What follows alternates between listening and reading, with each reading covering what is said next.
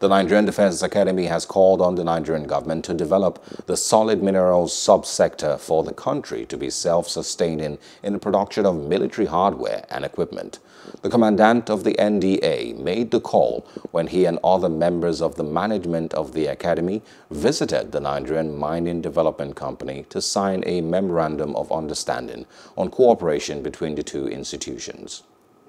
Development of solid minerals will bring in development into this country. Uh, we don't need to rely solely on petroleum. Will, en will enhance the educational training of its officer cadets by formally endorsing the MOU between NDA and NMDC, and it will be a step in the right direction.